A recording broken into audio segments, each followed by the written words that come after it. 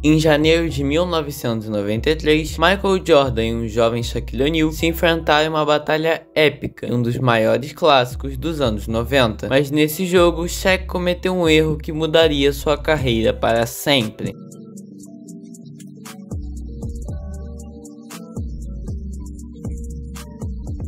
Ainda um novato, Shaq queria mostrar que era maior e mais forte que todos na liga. E quando Jordan veio para dar uma enterrada, Shaq mostrou a ele que não seria mais uma de suas vítimas. E uma jogada tanto física quanto psicológica seria o início de uma das maiores rivalidades dos anos 90. Mesmo sendo apenas um novato, Shaq rapidamente conquistou seu lugar entre as superestrelas da liga. Afinal, nos seus primeiros 10 jogos na NBA, Shaq já estava com números de MVP, tornando All-Star, mesmo sendo um novato em 1993. Shaquille O'Neal era considerado como o futuro da NBA, mas antes precisaria enfrentar o presente, Michael Jordan e o Chicago Bulls, que na época eram os atuais bicampeões da liga. Nos dois primeiros confrontos, Jordan levou a melhor, mas tudo mudou quando em janeiro de 1993, o Magic enfrentou o Bulls em Chicago, e mesmo com Michael Jordan inspirado em casa, fazendo 60 64 pontos não foi o suficiente para parar Shaquille O'Neal, que levou Orlando à vitória na prorrogação. Mesmo destruindo, Shaq não conseguiu levar o time aos playoffs, até porque o time não havia sido o segundo pior da temporada passada à toa, e teve que assistir de casa Jordan ganhar o tricampeonato com Chicago. No ano seguinte, Orlando trouxe o armador novato Penny Hardaway, que se tornou a segunda estrela de Orlando e principal companheiro de equipe de Shaq. Após o terceiro título, Jordan surpreendeu a todos e decidiu se aposentar, deixando o caminho aberto para Magic de Shaq e Penny, que levaram o time aos playoffs pela primeira vez em sua história. Mas nos playoffs era diferente, por ser um time jovem, não ter uma boa profundidade de elenco e com uma ausência de bons veteranos, o Magic acabou sendo eliminado pelo Indiana Pacers de Red Miller. Na off-season de 1994, Orlando decidiu trazer o veterano e ex-companheiro de Jordan, Horace Grant, para formar o Big Three com Shaq e Penny. A aposta em Grant foi um sucesso e o time terminou a temporada na primeira posição da Conferência Leste. Pela